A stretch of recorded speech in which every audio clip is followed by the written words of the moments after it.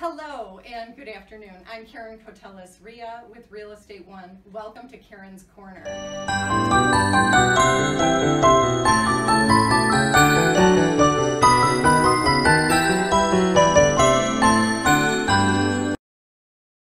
Um, today we have in front of our glowing fireplace, um, we have our guest and we have Jeff Miller with Primerica Financial Services. Welcome, Jeff. Thank you for having me. You're very welcome. I'm glad you're here. Um, what we do is every week in our chat room here, we um, I, I like to promote local business people.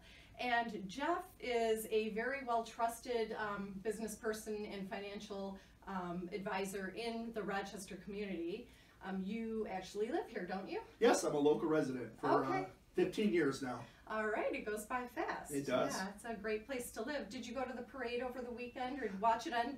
Well, I guess it's not on TV anymore, but uh, or at least hear about it. I heard about it. Yes, yes. I was Yeah. following along. Yeah, I did not. I was not able to go personally, but it's a it's a great event. I've been years past. so. Yeah, yeah. We actually, my team and I and uh, family, we were able to um, actually sponsor Santa Claus, so that was kind of fun. Um, and we were in the bleachers uh, during the parade and wore our nice warm hats and. Um, it was pretty good weather, so I can't complain. There have been some years where it was pretty Right. chilly, and um, I haven't walked in the parade in many, many years. Um, but my kids were in uh, for for cheer and football and things like that back when they were in Redskins. But that was like a previous lifetime Okay. now. Um, speaking of kids, how old are your kids now? Uh, my oldest uh, Cole is uh, just turned 13. He's in Yeah. seventh grade, and my youngest will be 10 in January. So Yeah. he's in fourth grade. Two boys. Yeah. Okay, great. Yeah. And Michelle's doing well. Everybody's doing really well. good, Thank you. Good, good, good. So tell us about what you do. What is your role with Primerica? So, Caron, I'm a, a regional vice president at Primerica. Uh, basically, I'm a full time agent. I'm licensed in uh, many different products uh, life insurance, investments, that sort of thing. I have an office in Troy. Uh, I've been there now about six years, and I've been in the business a little over 10 years. So. Okay, great. Well, I know you've helped um, many friends and family, um, and they all love and trust you, and, and that's fantastic. What's the ideal client for you? Uh, that's a really good question, Caron. I, I don't have one specialty niche, but I like to work with uh, working families. You know, I like to we, we call them the five pointers in our in our what I'm looking for. So someone that's married, somebody has kids, somebody that owns a home, someone that's working, they're saving for their future. If I can sit down with that family and uh, take a look at their finances and, and make improvements on how they can either save more money or make more money, uh, that's my number one goal. Oh, nice. So, what would you say to someone who's just getting out of college? start saving right start you, Yes. can, you never can uh, start too soon Mhm. i understand uh, you know being in college myself and having some student loans that it could be uh, you know exciting and scary at the same time. It's a it's a kind of a weight on on, on people's shoulders. Mhm. so what, what i do with a, a new person that just graduated is just uh, you know remind them that i am there for support. We can help figure out uh, how to pay off their debts you know in, in, a, in a certain manner and, and to just teach them the importance of you know saving for that next big thing you know saving for a house saving for maybe a future family and uh, and then obviously if, if they're at a, a job they start contributing to their 401ks or, Yeah. or start an individual retirement account Yeah. Well, and speaking of retirement, um, and I know we're touching on a lot of different people in different stages of life, right but you know we've talked about families and we've talked about uh, kids maybe just joining the workforce and graduating college and getting rid of student loans. right Um, what about the people who are taking uh, retirement packages right now? Now that since we're in an area of uh, a lot of automotive in this area, um, people are the union negotiations are getting wrapped up, yeah. and people are taking their packages for retirement. What is some advice that you could give to those people? Yeah, please just talk to a financial advisor, Mhm. right? We are, it's our job to help make sure that uh, someone never outlives their money, right? So usually when somebody gets a buyout package, they're, they have a choice of taking a lump sum or a kind of a, a monthly or yearly installment to that.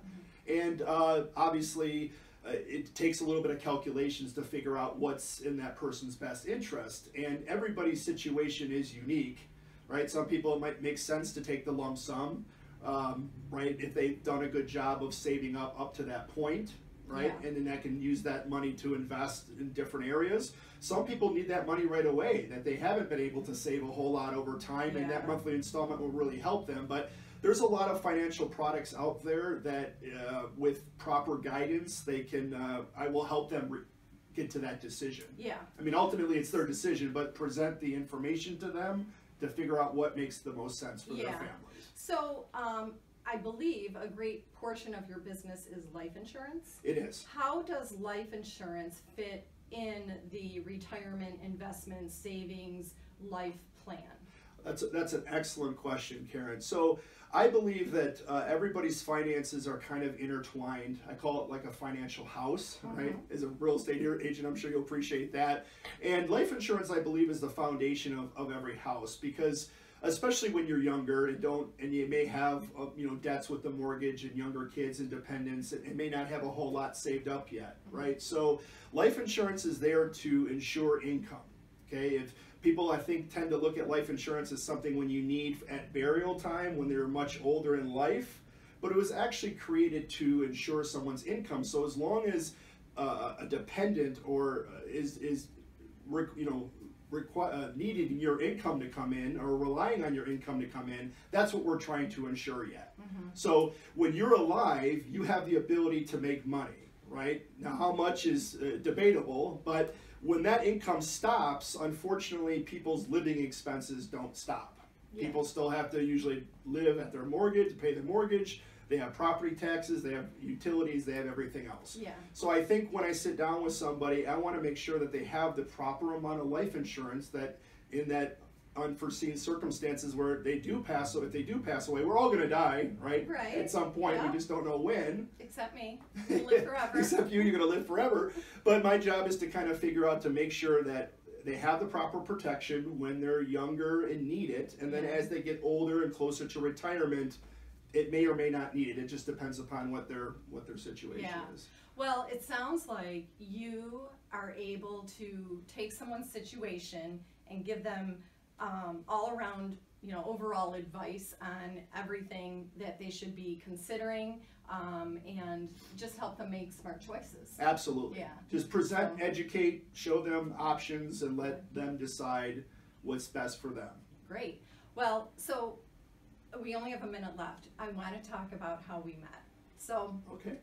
I remember I was sitting at our other office in Rochester, and it was probably around this time of year.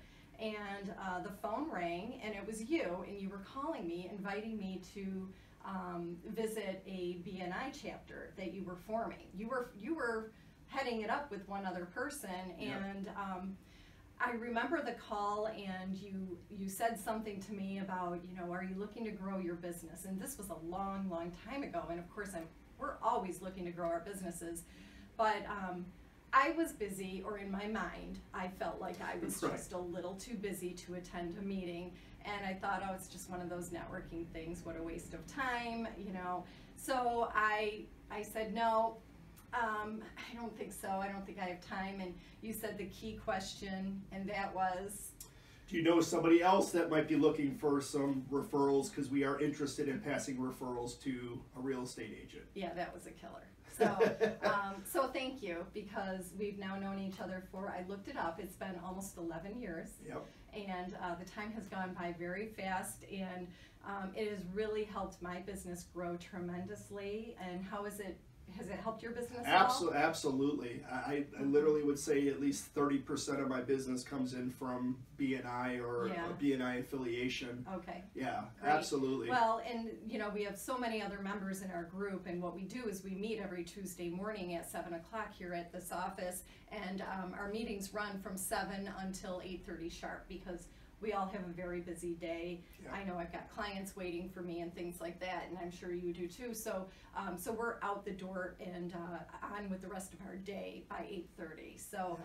thank you so much for introducing me to bni oh, you're welcome. and thank you so much for being here. I'm so glad you could make it and that we could sit by the fire Yeah. and, and chat and, you know, have the candle going and um, get ready for the holidays. So Thank- thanks for having me.